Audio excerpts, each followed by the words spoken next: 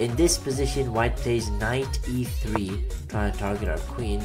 Uh, and this move is pretty easy to find, so queen f2, and he has to move. But pause the video right here and try to find the winning move. If you found the brilliant knight takes g3, then you're an idiot sandwich. That quite simply doesn't work.